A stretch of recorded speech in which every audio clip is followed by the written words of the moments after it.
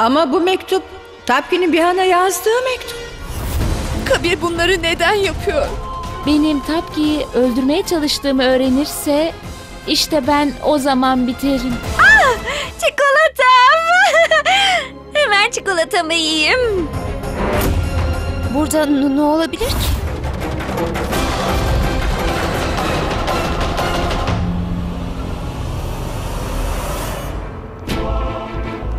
Demek ki burada biri vardı. Ve Kabir o kişiyi görmeye geldi. Ama niye gizlice buraya geldi?